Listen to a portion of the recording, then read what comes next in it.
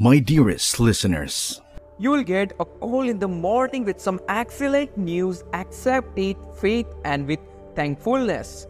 Believe that you have received whatever it is that you ask for in prayers. Type yes if you believe. It will be yours, my child. God is warning you that you are worrying too much right now. Don't forget who I am. Nothing is too difficult for me. I have everything in your life planned out, even if you cannot see it. Rest, my little one, I'm at the work already. Every negative situation in your life will be changed by me. I will bless your family and make all your wants well. 222 type. There are going to be positive change in every areas of your life. I am aware that you are worrying a lot right now about the things like your family health, finance, career. Give everything over to me and I will grant happy life.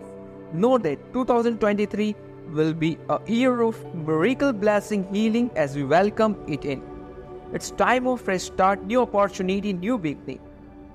1010. This week I will increase your blessing by threefold. Trust in my remark, even though they might appear unbelievable.